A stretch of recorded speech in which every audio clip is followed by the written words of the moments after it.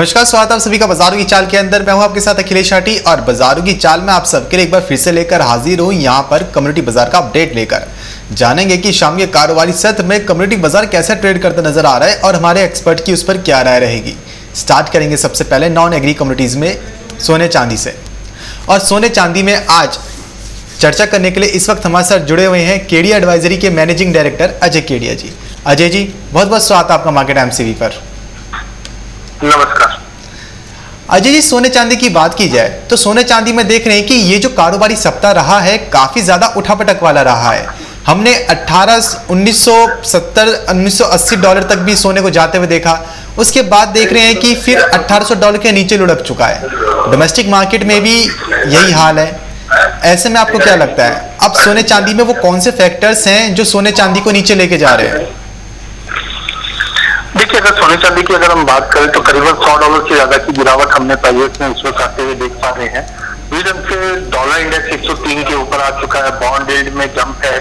साथ में fade interest rate बढ़ाने की बातें कर रहा है जिसकी वजह से ये हमने फॉल आते हुए देखा है। बट कहना कि आज शाम के अगर बीजेपी के आंकड़े देखें हम तो वहाँ पे काफ़ी बड़ी गिरावट देख रहे हैं जो कहीं ना कहीं सोने और चांदी को सपोर्ट दे, दे सकता है। ऑलरेडी हमने टेक्निकली भी काफ़ी बड़ा फॉल देख चुके हैं। डोमेस्टिक मार्केट में भी रुपए में गिरावट है जो गोल्ड सिल्वर को सपोर्ट कर सकता है। खाली डर ये है कि फेड इस बार तीन और चार तारीख की मीट में इंटरेस्ट रेट कितना बढ़ाता है? जी। पॉइंट फाइव तक मार्केट डिस्काउंट कर चुका है। अगर पॉइंट फाइव या उसके नीचे होता है तो आई थिंक तीन चार तारीख के बाद सोने चांदी में हमें अच्छा जम मिल जाएगा। और पॉइंट फाइव के बियॉन्ड जाता हुआ नहीं दिखाई दे रहा क्योंकि अभी भी इकोनॉमी के जो नंबर्स है वो इतने ज़्यादा रोबस्ट नहीं है। तो टाइमिंग मुझे लगता है बड़ी गिरावट के बाद आज मार्केट थमता हुआ नज़र आएगा। पचास आठ सौ, पचास आठ सौ का एक नया बेस बन रहा है प्राइस में और इक्यावन छह सौ के ऊपर निकलने पे हम फिर से अच्छी तेज़ी देख पाएँगे। तो करंट लेवल से शॉर्ट करना प्रॉपर नहीं रहेगा। लोअर लेवल से वापस बाइंग लौटते हुए दिखाई देगी। जी। ये सच जी हमने कच्चे तेल को भी एक सीमित दायरे में ही देखा है। कच्चे तेल की प्राइसेस कभी 100 डॉलर के आसपास इर्द गिर्द घूमती हैं तो कभी 100 डॉलर से नीचे हो जाती हैं। ब्रेंड भी कोई ज़्यादा लंबी तेज़ी नहीं दिखला पा रहा है। आपको क्या लगता है? जो चाइना में स्टिमुलस पैकेज की घोषणा की बात कही जा रही है तो क्या उसकी वजह से कच्चे तेल के बाज़ार को कहीं ना कहीं सपोर्ट मिल पाएगा? देखिए, कच्चे तेल में अभी भी सिनेरियो पॉजिटिव का ही बोल सकते हैं कि चार्ट पे अगर हम देखें तो 98 डॉलर के नीचे प्राइजेस जा नहीं रही है। तो अनलेस अंटिल 98 का लेवल बीच नहीं करता है आई थिंक प्राइजेस दायरे में है। बट एक तरफ़ ये भी है कि ग्लोबल इकोनॉमी में अब पिंच लगना चालू हो चुका है इन्फ्लेशन का जिसके चलते हमने देखा कि स्ट्रेटेजिक रिज़र्व ओपन कर दिए गए हैं। प्रोडक्शन यूएस का बढ़ रहा है। बाकी कंट्रीज़ भी अपने अपने प्रोडक्शन बढ़ाने की बात करें साथ में चाइना में जो लॉकडाउन हुआ है इसकी वजह से कहीं ना कहीं डिमांड पे डैंक पड़ा है।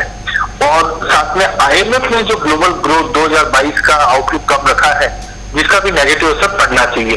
बट ये चीज़ मीडियम टू लॉन्ग टर्म में होगी। बट इमीडिएट की अगर हम बात करें तो जैसे हम जानते हैं कि यूरोप और रशिया के बीच में एनर्जी क्राइसिस या एनर्जी प्राइस वॉर चल रहा है वो कहीं ना कहीं क्रूड को और नेचुरल गैस दोनों को सपोर्ट करेगा। तो टाइमिंग मुझे लगता है क्रूड का एक broader range seventy five hundred से एटी टू हंड्रेड का है।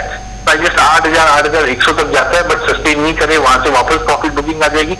नेचुरल गैस के अंदर भी हमने मोमेंटम देखा है बिकॉज़ वेदर से कोई रिलेटेड नहीं है अभी बट जिस ढंग से रशिया ने डिमांड की है कि रूबल में पेमेंट किया जाए वो कहीं ना कहीं यूरोपियन नेशंस को पसंद नहीं है और अभी भी उस पर एक कोल्ड लॉक चल रहा है। तो आई थिंक नेचुरल गैस में हो सकता है प्राइजेस वापस पाँच सौ अस्सी नब्बे चली जाए बट टेक्निकली एलिवेटेड लेवल पे कहीं ना कहीं बड़ा करेक्शन भी दे सकता है। तो इन शॉर्ट अगर हम क्रूड की बात करें तो शॉर्ट टर्म में आठ हज़ार आठ हज़ार एक सौ का लेवल दिख सकता है। वहीं नेचुरल गैस में भी पाँच सौ अस्सी, पाँच सौ नब्बे का लेवल एक बार दिखा सकता है। जी।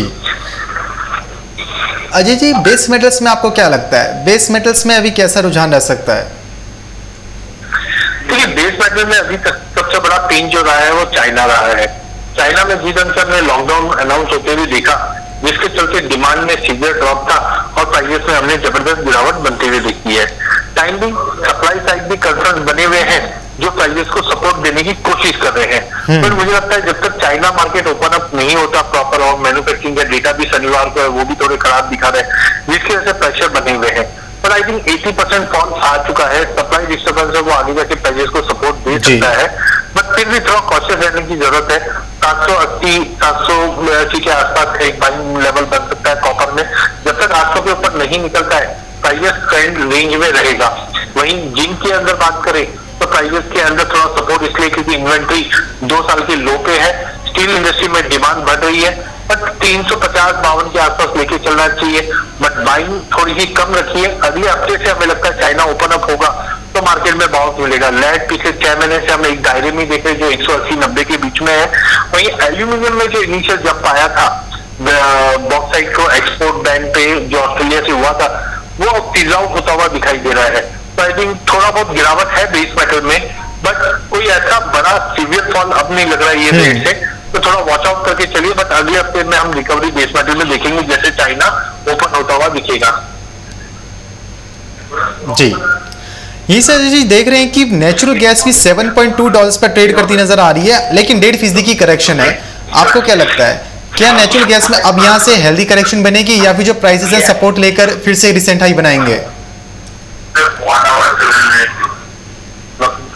देखिए नेचुरल गैस की अगर हम जैसा भी बात कर रहे थे कि यूरोप और नेचुरल यूरोप और रशिया के बीच में जो कंसर्न है वो अभी भी प्राइजेस को अपलिफ्ट करेंगे। टेक्निकली हमने पिछले एक हफ़्ते के अंदर पचास से साठ रुपए की तेज़ी बनते हुए देखी जिसके चलते गुंजाइश है कि हम प्रॉफिट बुकिंग देख पाए।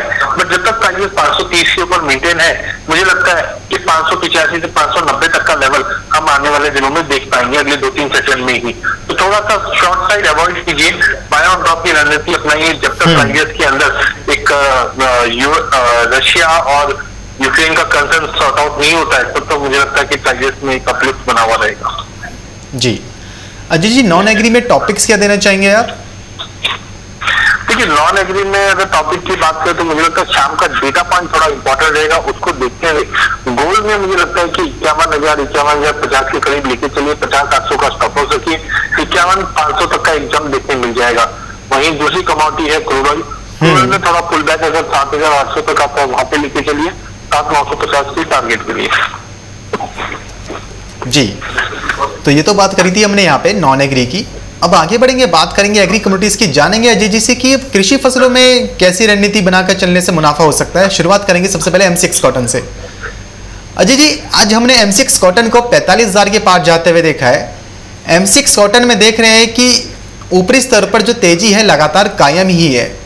अब यहाँ से क्या लगता है? क्या यहाँ से अभी एम कॉटन सीधे अब हेल्दी शार्प कनेक्शन दिखाने वाली है जैसा आपने बताया था या फिर जो कीमतें हैं यहाँ से अभी भी तेज़ी की ओर जाएँगी? देखिए उम्मीद तो थी कि करेक्शन आ जाए बट जिन जो गवर्नमेंट ने इंपोर्ट ड्यूटी स्क्रैप किया है जी। उसके बाद एक मैसेज जो गया है मार्केट में वो ये है कि इंडिया में भी शॉर्टेजेस है। जिसके चलते हमने देखा कि प्राइस में अपलिफ्ट हुआ और 144 सेंट तक का भी लेवल हमने प्राइजेस के अंदर बनते हुए देखा। तो टाइमिंग मुझे लगता है कि थोड़ी बहुत करेक्शन देखो सोइंग को देखते हुए मिल जाए। तो वो एक लकी ड्रॉ रहेगा लेने के लिए। प्राइजेस फोर्टी सेवन थाउज़ेंड के लिए हेड कर रहे हैं। तो चवालीस हज़ार का लेवल जब तक कंटिन्यू होल्ड रखा है, बिल्कुल बेचने का सोचिए मत, लेके काम कीजिए। जॉब साइड में मुझे लगता है फोर्टी सेवन थाउज़ेंड तक का लेवल दिखा देगा। जी। अजय जी, ऐसी भी खबरें निकल के सामने आ रही हैं कि जो सरकार है, वो कॉटन के एक्सपोर्ट पर आनुवांशिक बैन लगा सकती है। तो ऐसे में कॉटन के बाज़ार पर क्या असर पड़ेगा? देखिए आई थिंक हमने कवर में काफ़ी बड़ी रैली जीत चुके हैं तो ये जो एक्शन है ये वाजिब है गवर्नमेंट ले सकती है जैसे हमने पहले भी देखा हम्म। इंपोर्ट्स के ऊपर एक्सपोर्ट्स के ऊपर फ्यूचर्स के ऊपर। स्टॉक लिमिट के ऊपर जैसे हमने एडिबल ऑयल कॉम्प्लेक्स में पिछले साल लेते हुए देखा बट आई थिंक आप एक चीज़ सिंपल समझिए कि अगर हम बैन भी लगा देते हैं एक्सपोर्ट पे बट डिस्पाइट दैट आप देखिए ग्लोबल मार्केट की जो बैलेंस शीट है वो काफ़ी टाइट है तो कहीं पे भी ऐसा नहीं है कि बहुत बड़ी सप्लाई आ जाएगी जो भाव को क्रैश करवा देगी या भाव में गिरावट आ जाएगी अनलेस हमारे पास नई बड़ी क्रॉप नहीं रहती है और नई क्रॉप जो आएगी भी वो अक्टूबर से पहले। नहीं आनी है तो आई थिंक कभी भी गवर्नमेंट अगर ऐसा एक्शन लेती भी है तो उसका टेम्पररी फॉलबैक दिख सकता है प्राइस में बट कोई ऐसा बड़ा फ्री फॉल जैसा सिचुएशन नहीं है क्योंकि लिटरली डोमेस्टिक में और इंटरनेशनल में जो पोजिशनिंग बनी है बैलेंस शीट है वो काफ़ी हम्म। शॉर्ट में है जिसके चलते मुझे ऐसा फ्री फॉल जैसा सिचुएशन नहीं है हाँ उम्मीद ये है कि इस बार बम्पर स्विंग जैसे पहले माना जाता था कि तीस चालीस टके की तेज़ी स्विंग में बढ़ोतरी आ जाएगी, अब वो भी नहीं लग रहा है, क्योंकि अदर क्रॉप लाइक सोयाबीन है, इन सब के भाव भी बढ़े हुए। मुझे लगता है प्राइजेस कंसोलिडेट करने का रेंज बाउंड हो जाएगा बट कोई फ्री फॉल जैसा सिचुएशन आते हुए नहीं दिखाई दे रहा है। जी। यही से जी, अगर बिनौला खल की बात की जाए तो बिनौला खल में देख रहे हैं तीन हज़ार का लेवल टूट चुका है 2800 के लेवल पर अब ट्रेड करता नज़र आ रहा है। अजय जी फंडामेंटल्स तो देख रहे हैं कि मज़बूत वाले हैं, पशु चारा महँगा हो रहा है, दूध के प्राइसेस बढ़ रहे हैं एमसीएक्स कपास की जो कीमतें हैं, वो लगातार बढ़ रही हैं। तो ये जो वायदा में बिनौला खल है, इसके प्राइसेस क्यों नहीं बढ़ पा रहे हैं? जबकि इस बार हम देख रहे हैं कि फ़िज़िकल में भी जो भाव है, वो वायदा से ज़्यादा है। देखिए, आपके चैनल पे ही मैंने पहले भी स्टार्टिंग से अच्छा है, मैंने साथ में से बता रहा हूँ। चौबीस सौ पचास से लीजिए चार हज़ार का टारगेट आएगा। हमने चौबीस सौ का लेवल जनवरी में देखा। जनवरी के बाद हमने कहा भी था कि तीन हज़ार से चौतीस सौ का एक दायरा बना हुआ रहेगा। जब तक ये दायरा नहीं टूटेगा मार्केट में मार्केट हाईली रहेगा। हमने देखा बार बार में कोशिश हुआ चौतीस के करीब जाना तैतीस के करीब जाना बट वो मार्केट होल्ड नहीं कर पाया था। अब पिछले हफ़्ते अचानक से हमने देखा तीन हज़ार का लेवल तोड़ा बिकॉज़ एनसीडीएक्स की जो क्वालिटी है, वो हल्की क्वालिटी होने की वजह से उसके कोई लेवल नहीं थे मार्केट में। तो एकाएक हमने 200 पॉइंट की गिरावट देखी, अभी भी अट्ठाईस के लेवल पे देखते हैं। जबकि आप चारा या अदर खर्च देखेंगे वो सबके सब आज इस भाव से काफ़ी महँगे हैं और 2018 में भी ऐसा ही सिनेरियो बना था जब हमने कॉटन और कॉटन सीड ऑयल सीड का रेशियो हायर लेवल पे बनते हुए देखा। जिसके बाद हमने कॉटन सीड ऑयल सीड में हम्म। ज़बरदस्ती। ऐसा ऐसा बिल्कुल नहीं है कि मेरा व्यू हमेशा ही कॉटन सीड ऑयल सीड में जी का ही रहता है। जब भी मैं आता हूँ तेज़ी ही बात करता हूँ। बट जो फंडामेंटल दिख रहे हैं उसके नो डाउट तीन हज़ार से चौतीस का रेंज ही हम पकड़ रहे थे। अब अचानक से अगर मार्केट टूटता है तो रिव्यू करना ज़रूरी है। तो मुझे लगता है सत्ताईस सौ पचास से अट्ठाईस सौ पचास का जो जोन है, ये काफ़ी स्टेबल जोन है। शॉर्ट मेरा एडवाइस नहीं रहेगा। अगर ऑलरेडी पोजीशन है बने रहना चाहिए, क्योंकि आप खुद समझिए, आपके पास माल नहीं है अक्टूबर तक का। और जिस ढंग से शादी ब्याह ये सब ओपन अप हुए डिमांड इंप्रूव होगी, या कल से सस्ती कोई चीज़ मिलती है तो बिल्कुल बताए वैसा कुछ दिखाई नहीं दे रहा है मुझे। तो आई थिंक हो सकता है जो सेलिंग प्रेशर पिछले हफ़्ते में देखा था उसके चलते आज भी हमने वापस उनतीस का लेवल छूने के बाद नीचे आया है। बट आई थिंक कंसोलिडेशन में है। पंद्रह बीस दिन लगेगा मार्केट को रिकवर करने में बट तीन हज़ार के ऊपर वापस आता हुआ दिखेगा। बट ट्रेंड पॉजिटिव है शॉर्ट नहीं करना चाहिए। जी। ये चाचा जी, हमने जहाँ पे बिनौला खल में गिरावट बनते हुए देखी है, वही ग्वार कॉम्प्लेक्स में अब देख रहे हैं कि कुछ कुछ धीरे धीरे तेज़ी बननी शुरू हो गई कंसिस्टेंसी के साथ। आपको क्या लगता है, क्या अब बिनौला खल में एकदम से उछाल आएगा? देखिए रेशियो वाइज मैं बार बार उसी चीज़ को ले वो ठीक नहीं लगता। मुझे लगता है कंसोलिडेशन है कॉटन सीड ऑयल केक में बट गवार की अगर हम बात करें तो हम्म। गवार में आप देखिए यूएस का प्रोडक्शन बढ़ रहा है। यूएस के रिक काउंट बढ़ रहे हैं। रुपए में गिरावट है जो एक्सपोर्ट को सपोर्ट करता है। नॉर्थ साइड में हमने देखा कि जनरली ये पीरियड में कॉटन की स्विंग नर्मा कपास की स्विंग बढ़ी है। जिसका मतलब क्लियर है कि हनुमानगढ़ ये जो नॉर्थ साइड का है यहाँ पे गवार के एवज में किसान कपास की तरफ़ मूव करे क्योंकि प्राइसिंग बहुत अच्छे मिल रहे हैं वहाँ पे। तो ये एक बड़ा कारण रहेगा जो गवार कॉम्प्लेक्स को सपोर्ट देगा। टाइमिंग मार्केट इकसठ सौ पचास से लेकर पैंसठ सौ पचास के बीच में है। हम्म। पैंसठ सौ पचास का लेवल तोड़कर हमें लगता है कि पहले आठ हज़ार की तैयारी कर रहा है। नॉट बियॉन्ड आठ हज़ार बट हाँ आठ हज़ार का लेवल हम देख रहे हैं कि जून जुलाई के आसपास दिखा देगा तो इनके आंकड़े एक्चुअल में दिखने लग जाए। बट करंट लेवल पे आप बाइंग करके चलिए। छोटा प्रॉफिट बुक करते हुए चलिए क्योंकि मार्केट एक रेंज में ही चलता हुआ दिखेगा। बट ओवरऑल ध्यान पॉजिटिव ये कमोडिटी अगले तीन चार महीने में सबसे बेस्ट रिटर्न देने वाली है। डाउन साइड काफ़ी रेस्ट्रिक्टेड है। छह हज़ार का एक बेस बन चुका है। ग्यारह, पाँच सौ, ग्यारह, चार सौ का बेस गवार कम में बन चुका है। तो आई थिंक ये कमोडिटी पे थोड़ा ध्यान देकर काम करना चाहिए। जी। अजय जी 2021 में हमने देखा था कि ज़्यादा कहीं पे बारिश ज़्यादा हुई, कहीं पे बारिश कम हुई, जिसकी वजह से ग्वार का जो उत्पादन था वो प्रभावित हुआ था और 20 के साल 2020 के मुकाबले 21 में ग्वार का उत्पादन आधा बताया जा रहा था। ग्वार को कई लोग स्टॉक भी करके रखते हैं, कई कई सालों तक। इसलिए इसका उत्पादन आंकड़ा पूर्ण रूप से जानना वो भी थोड़ा कठिन हो जाता है। आपको क्या लगता है? जिस हिसाब से अब जो प्राइसेस जा रहे हैं तो अभी क्या अटकलें लगाई जा रही हैं? क्या ग्वार गम क्या ग्वार सीड का जो स्विंग है, इस बार कुछ बढ़ सकती है? नहीं मुझे भी ऐसा लग नहीं रहा कि स्विंग बड़े क्योंकि अगर आप देखोगे तो कपास के भाव सीज़न से स्टेज हुए हैं। तो आई थिंक उसका भी एक रकबा जो है वो हम्म। कहीं ना कहीं कमी करेगा। और सेकेंडली आप ठीक है प्राइजेस हमने पिछली बार छत्तीस का भाव था आज हम बासठ सौ पे है। लेकिन आप उसके मुकाबले कॉटन है बाकी कमोडिटीज के भाव देखोगे ना तो वो ज़्यादा बढ़े हैं। तो आई थिंक एरिया में कोई बढ़ोतरी तो नहीं लगती कमी आ सकती है। तो वो हमें देखना पड़ेगा जून, जुलाई के आसपास कैसा सिनेरियो बनता है। या कॉटन में कितना area that is most important जी। अजय जी, कैसे सीट की बात की जाए तो कैसर में आपको क्या लगता है? कैसर में देख रहे हैं पिछहत्तर के बाद कैसे सात हज़ार तक भी, छह हज़ार नौ सौ तक भी नीचे गया। अब देख रहे हैं बहत्तर पर फिर से आया है। तो अगर यहाँ पे सस्टेन हो जाता है तो क्या फिर से तेज़ी वाले लेवल्स देखने को मिल पाएँगे? देखिए कैस्टर में अभी हुआ क्या? मार्केट में सप्लाई शॉर्ट है जिसकी वजह से तेज़ी बनी है। बट कहीं ना कहीं अभी चाइना मार्केट जो लॉकडाउन में है जिसकी वजह से डिमांड पे इम्पैक्ट पड़ता हुआ दिखाई हम्म। दिया है। तो आई थिंक मार्केट उसी की वजह से सात हज़ार से सात हज़ार दो सौ पचास के बीच में मूव कर रहा है। बट आई थिंक अट्ठाईस तारीख का लास्ट डेट था। अगले हफ़्ते से चाइना ओपन अप होगा। कंजेशन है पोर्ट पे वो भी एक कंसर्न है। बट आई थिंक अगले हफ़्ते से मोमेंटम स्ट्रॉन्ग बनेगा। बट टाइमिंग हमें लगता है कि अगली स्विंग की फिगर आने से पहले seventy four seventy five hundred का लेवल दिखा देगा। थोड़ा सा मोमेंटम है पॉजिटिव बट पिछहत्तर सौ पचास का लेवल एक बार पकड़ के चलिए। जी। अजय जी, अगर वीट की बात करें तो यूएस वीट में हमने काफ़ी अच्छी तेज़ी आते हुए देखी है। इंडिया से भी काफ़ी अच्छे पैमाने पर एक्सपोर्ट किया जा रहा है। विदेशों में भी जो डिमांड है वीट की इंडियन वीट की, वो भी काफ़ी अच्छे से बनी हुई है। ऐसे में आपको क्या लगता है? अभी कुल मिलाकर वीट का जो सिनेरियो है और जो प्राइसेस हैं, वो आगे कैसे बने रहेंगे? देखिए अगर वीट की बात करें तो इंटरनेशनल मार्केट में भी तेज़ी ज़रूर बनी है। बट हमारे यहाँ पे जो बफर स्टॉक है वो काफ़ी ज़्यादा है। No doubt area under cultivation में थोड़ी बहुत हमने स्विंग में बढ़ोतरी देखेंगे क्योंकि वहाँ पे एमएसपी के ऊपर ही भाव चल रहे हैं।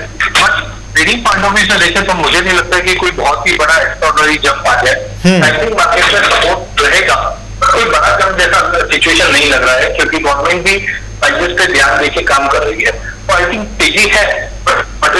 बड़ा नहीं है कि हम बारह पंद्रह परसेंट की तेज़ी देखें पर साइडवे टू पॉजिटिव मार्केट है। जी। अजय जी एडिबल ऑयल पर भी हमने इंडोनेशिया की तरफ़ से फैसला आते हुए देखा है कि 28 अप्रैल से इंडोनेशिया भारत में पाम तेल में कुछ जो एक्सपोर्ट है, वो बंद कर देगा। हालाँकि सारे पाम तेल का एक्सपोर्ट बंद नहीं होगा। ऐसे में आपको क्या लगता है? इसका असर खाद्य तेलों के बाज़ार पर कितना रहेगा? देखिए ऑलरेडी हम देख रहे हैं कि हमारा फिफ्टी परसेंट पाम ऑयल का इम्पोर्ट होता है सनफ्लावर भी हमने देखा कि अर्जेंटीना सनफ्लावर भी हमने यूक्रेन से देखा डिस्टर्बेंस चल रहा है। तो इंडिया में तो ऑलरेडी शॉर्टेजेस तो है, और साथ में पोस्ट पैंडमिक अभी हम देख रहे हैं जो मैरिजेस है, उनकी डिमांड कंटिन्यू मेंटेन हुई हुई है। तो आई थिंक ये जो स्टेप है, ये कहीं ना कहीं और शॉर्टेज क्रिएट करेगा। तो मुझे लगता है अगले डेढ़ दो महीने तक मार्केट में तेज़ी का ही रुख रहेगा।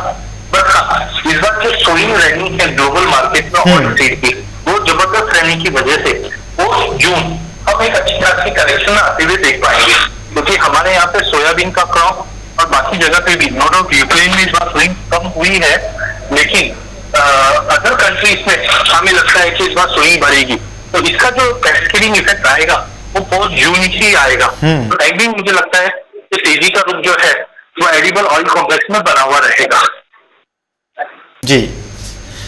यही से यदि बात करें अगर सोयाबीन की तो सोयाबीन पोल्ट्री उद्योग, ऐसी खबरें निकल के सामने आई है कि पोल्ट्री उद्योग ने सरकार को फिर से पत्र लिखा है कि जीएम सोयाबीन का आयात किया जाए। लेकिन इस पर सोपा ने मना कर दिया है कि अगर सोयाबीन का आयात होगा तो व्यापारियों और जो प्रसंस्करण करता है, उनको काफ़ी ज़्यादा नुकसान होगा।